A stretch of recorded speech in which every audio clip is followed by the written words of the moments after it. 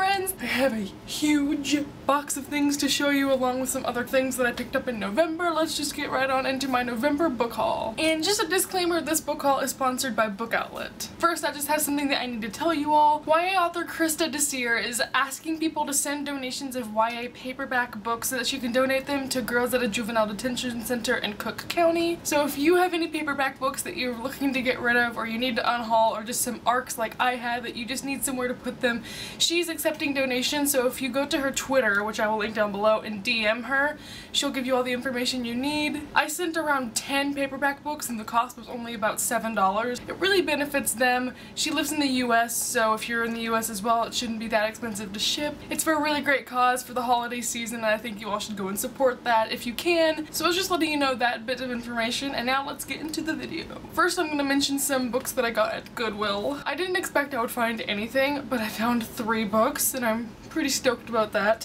The first one is The Night Trilogy by Elie Wiesel. This is about a man who was in the Holocaust. The first book in this trilogy is really well known, but not a lot of people know that he has two other books, and so this is just a bind up of them. I've already read the first one. I really hope that I can read the next two ones soon because they just sound really interesting. I just hope that this gets me thinking, and I hope it's interesting and good. I liked the first one, so that shouldn't really be that hard to fulfill. The next book I got is Confessions of a Shopaholic by Sophie Kinsella. Sophie Kinsella is someone who has a ton of hype on booktube. I just hear everyone saying oh she has all these great books and she's funny and her writing's great and this is her most popular series. I have no clue what it's about but I think it's gonna be good and funny and hopefully I can read it soon. And the last book that I got I was so shocked they had there. I've been looking for this forever. I was hoping I'd find it in hardback somewhere but totally fine with this. It was a dollar and I can't believe I found it. That is The Lost Hero by Rick Riordan. I just finished the Percy Jackson and the Olympian series this year and I wasn't the hugest fan. I just think if I would have read it as a child I would have enjoyed it a lot more. So I wanted to read this series because they're older. Maybe I'll like it more. I do like the world so hopefully this is just gonna fit my reading mood better. I know this one is about Jason and Piper and Leo and like all these names that I've seen on Tumblr that I haven't actually read so I just hope that I can get acquainted with these new characters and I hope that I'll like this one more than the original series because I wasn't a huge fan. This isn't technically a book but I feel like I need to mention it. I'm taking intro to mass comm this semester because I have mass comm as my minor and we were talking about print media and just every single day discussing it made me miss reading magazines. So I got a subscription to 17 magazine. this magazine just has a ton of girl power in it and everyone is super awesome and just on the cover right here it says meet the new trans generation so this has a story about a trans girl I believe. Now that I'm actually reading magazines instead of looking at the pictures it's pretty interesting. Okay it's kind of ridiculous you can get a subscription to 17 for like $12 whereas one of these at the newsstand would cost like six or five. Just letting you know, right now magazine subscriptions are so cheap. Please go and get one because they're awesome and ridiculously discounted. So the next book I have is technically not even a book, but anyway, this is a coloring book. This was sent to me by Colorworth Publishing. It is a ginormous coloring book and I have never had an adult coloring book before so when I got this email, ma'am, I was stoked. So this one has a ton of, as you can tell, landscapes. I'll just give you a little sneak preview.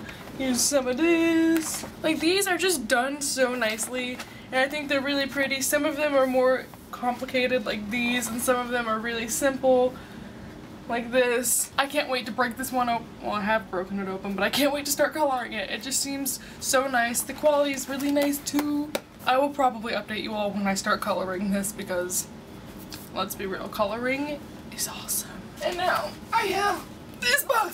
oh my god. So, you may or may not know, I am now a book outlet vlogger. They are entirely too kind to me because they were like, here's a hundred dollars gift card. And you know, for the first week I had self-control and I told myself I'd save it. Then this happened.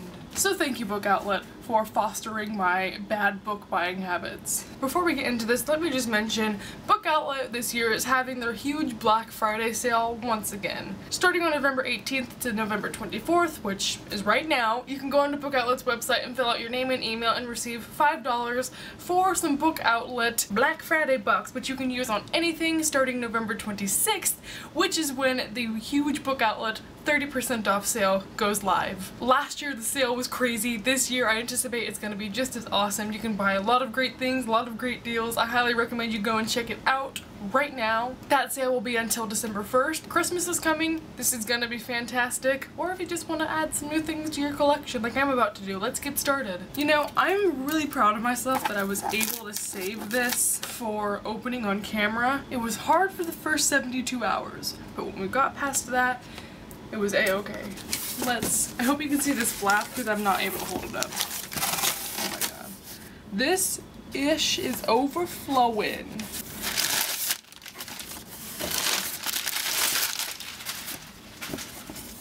There are so many things. Oh my gosh, let's just grab and go. The first book that I see is Humans of New York. This is some plastic wrap. Let's get that off. That's so fancy. Ooh. So if you don't know about Humans of New York, it is like a social media feed that started on Instagram, I think. It's a group that takes pictures of random New Yorkers off the street and if they put a quote underneath about that person or a prompt question. This is just a book filled with people and their little quotes. This is going to be really interesting to look through. I like photography books like this, but they're usually expensive, sadly. Ransom Riggs has a book like this called Talking Pictures, and I loved it. So stuff like this is really interesting to me. Plus, I really love this Instagram page. You should totally go check them out, and I will let you all know if this is an interesting book. The next thing that I see grabbing off the top is The Yellow Birds by Kevin Powers. This book is recommended to me on Amazon all the time. This has so many great reviews. It's about the war in Iraq. It's pretty short, surprisingly. I just hope it's going to be powerful, and I'm really digging more mature topics like this. I don't think I've read anything about modern war in Iraq, or really anything dealing with war. I'm not sure if this is fiction or nonfiction. I assume it's fiction. I'm super excited to try it out. This next book I bought as a Christmas present for my friend, so I hope she's not watching. If she is, Dory do not look. I saw this and immediately knew I was getting it for her. This is Knit Your Own Boyfriend. That's so funny. This is literally just a book of knitting patterns for creating your own man doll and I want to do this. Oh my gosh, it's literally Edward Cullen. This is so, like I'm already glancing through this and I love it. She's gonna love this. So this is adorable. They have a ton of crafting books on Book Outlet, which I did not know. Next book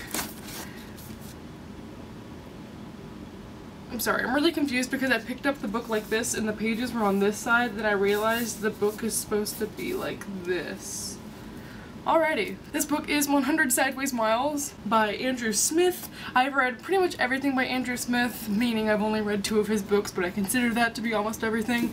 This book is his most recent, and I don't know what it's about. Andrew Smith writes really, I don't want to say vulgar, but he's very interesting in how he writes things. It's all very crude but very real and funny and I like his writing despite it being that way. I've generally enjoyed everything I've read by him. I haven't heard a lot of reviews about this, so I'm hoping to go into this sort of blindly and see how I like it. Next book I see is Noggin by John Corey Whaley. I went to a book signing where he was promoting this book, and I just remember I always have been interested in it, but I never had the urge to go and buy it like immediately. The main character of this book gets a terminal disease so he decides to remove his head, freeze it, and then in the future they put his head on a new body and then unfreeze him and he can continue to exist because his brain is just in a different body. It seems very sci-fi but it's like contemporary so I think that's going to be a very interesting mix. This book in general just seems really new and unique and I think it's going to be pretty funny. I think this has LGBT aspects in it, but I'm not completely sure, so don't quote me on that, but I'm excited to try this one out. It just seems very peculiar. The next book I have is Beautiful Disaster by Jamie McGuire. This is a book that I told myself I probably would never read just because it's new adult, but I think it's the type of new adult that I'm not really into. It's about a college girl who meets a guy, but I think it's like a problematic guy, yeah, covered in tattoos, and he's the bad boy and she's a good girl. I'm starting to read more new adult. This is one of the most raved about new adult series, so I thought even if I don't like it, it was cheap on Book Outlet.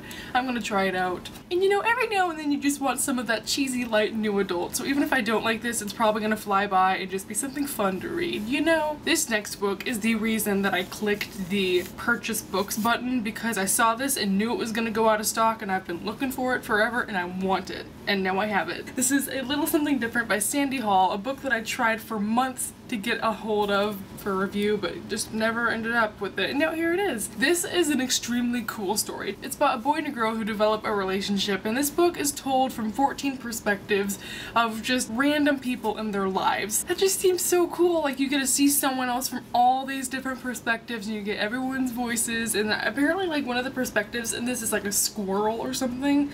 That could be wrong but I think that's what I heard. This book just feels nice. It looks nice. I think it's beautiful. I want to read this very soon because I've been really excited about it for a while. This next book is The One and Only Ivan by Katherine Applegate. This is a middle grade book about a gorilla in a zoo named Ivan. Never mind, not a zoo, a shopping mall.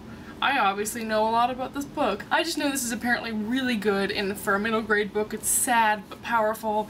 I've no idea what else it's about. I just knew I've wanted to read this ever since I heard people talk about this when it first came out and I think it's won, yeah, like a ton of awards and it seems really nice and I'm just a sucker for good animal stories so I think I'm gonna enjoy this even if it's sad. The next book I have is Ten Tiny Breaths by K.A. Tucker, another new adult book. I hope, because that's why I bought it. Again, I just think it's about a girl a guy. They're each facing their own struggles and having hardships, and then they come together and things happen. I see this series around all the time. Cora Carmack blurbed this and I read Cora Carmack's book, which was pretty good. So I may or may not enjoy this. We shall find out. But again, it's new adult. If anything, I can just read it because it's light and fluffy and, well, I mean, maybe this isn't because it has darker themes, but I might enjoy it. This next book this is also a reason why I placed this order. I've been dying to read this book. This is The Last Time We Say Goodbye by Cynthia Hand. This book is about a girl whose brother kills himself, and so this book deals a lot with mental illness and coping with loss of family members. It really revolves around the main character dealing with ghosts from her past. I've heard this book is phenomenal. I've been reading a ton of mediocre mental illness books lately, so hopefully this is gonna break that and be really good. I love this cover. I love the concept. The next book that I got is Before I Go by Colleen Oakley which is a very freaky name because Colleen Evans versus Tyler Oakley. I, my mind is going places. This book sounds so interesting. This book is so cool. It's about, well, not cool, it's pretty sad, but it's about this woman who discovers that she's going to die of cancer, it's terminal, and so what she does before she dies is she's trying to find her husband a new girlfriend slash wife. I'm not sure if I should say this synopsis sounds sad or hilarious, but I guess it's a mixture of both, but either way, I want to read it really badly. It sounds awesome. I saw a ton of good Amazon reviews about this. The reason why I know about this book is because I found it off Amazon and everyone was saying great things about it there. Not a lot of people speak about this on booktube, or not that I've seen. The next book that I have is The Edge of Never by J.A. Redmerski. This book is huge. Wow. Was not expecting that. Once again, we have another angsty new adult book. This one is about a girl who runs away and meets a boy. That's literally about it. Alrighty, moving onward. I think we already know how I feel about new adults, so I'm just gonna put that one down. And I've heard a lot of reviews on this one, both positive and negative, so it's gonna be interesting to see how I like it. Getting down to the bottom of the box, finally. You know what, let's just move this box. Oh, goodbye. Whoops. This next book I have is probably the reason why that box was a million pounds, because this is a huge book. This is Afterworlds by Scott Westerfeld. I didn't really like Scott Westerfeld's Uglies series, but this book sounds really interesting. It's about a girl who is writing a novel. This book takes place in dual perspective between the book and her real life, so I think that sounds really new and interesting. This book is large and heavy, but very pretty. This deals a lot with publishing in New York, which is what I want to do, so I think it's going to be really interesting. The next book I have is In the Body of the World by Eve Ensler. If you don't recognize the name Eve Ensler, it's the same woman that wrote the Vagina Monologues, which I read a couple of months ago and loved. She's really big on feminism and standing up for all women, and this book is more of a memoir. It follows her and her uterine cancer, and it also documents a little bit of when she was in Africa witnessing all the domestic violence and things that happened there. But I hear this book is just so unfiltered and real and I can't wait to read more of her things because I adore her. If you're into feminist literature and you haven't read the Vagina Monologues, I highly recommend it. The next book I have is one that I debated buying because I'm not sure if I'm gonna like it, but it was like and this is The Bone Season by Samantha, Samantha, Samantha Shannon. Supposedly the world is really intricate and new and interesting and it follows really interesting people and the year is 2059, criminal underworld in London. I've heard some pretty meh reviews about this and I've heard some really rockin' reviews over this. So once again I was skeptical if I would like it but it was really cheap. I'm really into worlds that are really well developed because I don't read a lot of books that have that since I mostly read YA.